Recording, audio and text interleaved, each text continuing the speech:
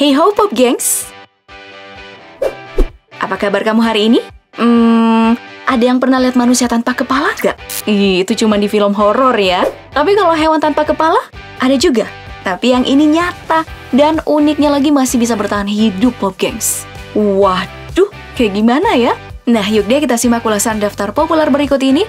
Hewan yang bisa tetap hidup meski kepalanya putus, tus, tus, tus. Tapi sebelum lanjut, jangan lupa untuk klik subscribe dan aktifkan lonceng notifikasimu ya, agar bersama kita terus berbagi info menarik dari daftar populer.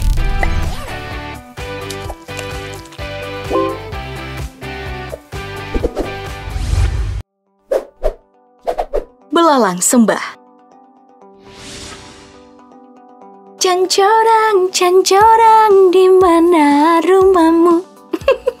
nah, Cancorang alias belalang sembah atau belalang sentadu adalah serangga yang disebut juga sebagai praying mantis dalam bahasa Inggris. Karena bentuk tangannya itu menyerupai orang yang sedang berdoa. Serangga ini adalah salah satu dari sekian banyak serangga yang bisa memutar kepalanya. Bukan cuma itu ya, serangga yang sangat lincah ini juga bisa bertahan hidup tanpa kepala loh.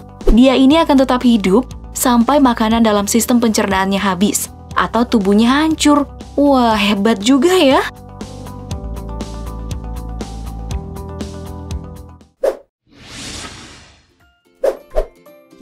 Gurita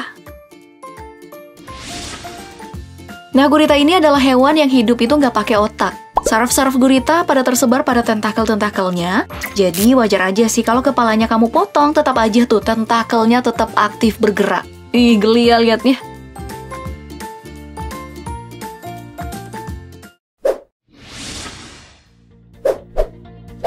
Lalat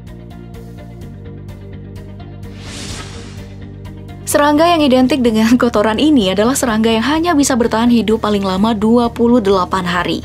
Gak cukup sebulan ya? Nyaris sama dengan belalang sembah tadi. Lalat ini tetap hidup meski kepalanya udah terputus akibat perlakuan kasar yang ia peroleh saat kawin sama pasangannya. Iuh, sangar juga ya bininya.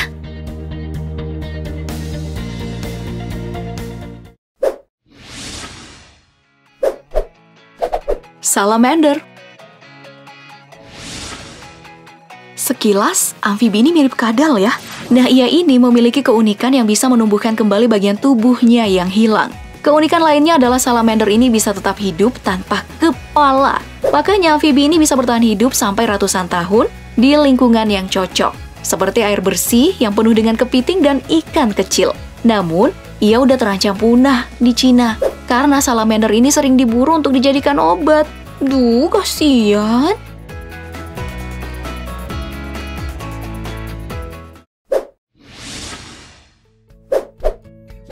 Ular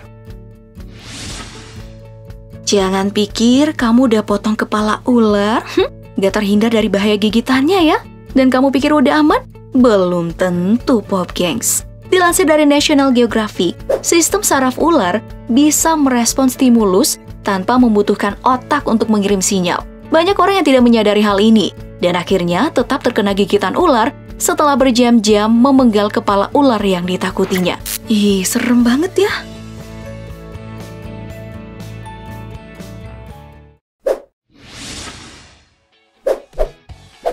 Kecoa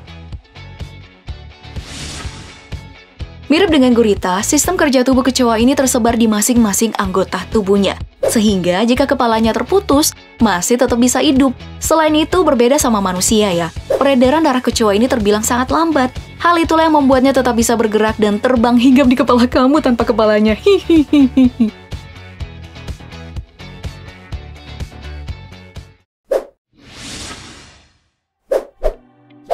Cacing pipih